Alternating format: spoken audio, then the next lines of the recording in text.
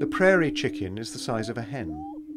It possesses air sacs which enable it to produce mysterious gurgling sounds, like a far off hunting call. Their strange rhythm and timbre contrasts with the bird's shrill call, which is followed by long descents towards the lower register.